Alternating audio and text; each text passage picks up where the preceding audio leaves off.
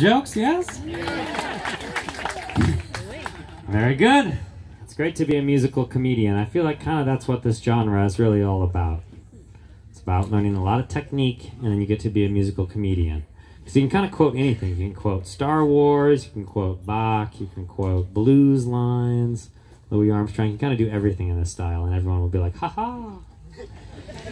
So, thank you. Um, during the quarantine, I uh, got obsessed with an artist called Pixinguinha, and I was listening to his music, and it's this style of music from Brazil called choro.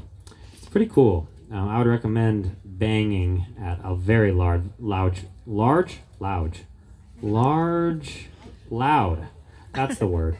loud volume on a Sunday morning. I would, I would recommend banging the greatest hits, extremely loud.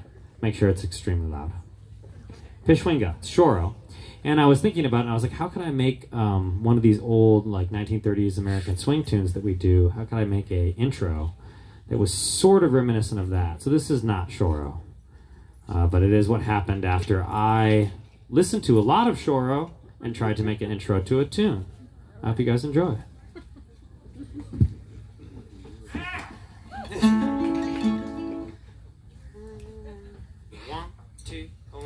Música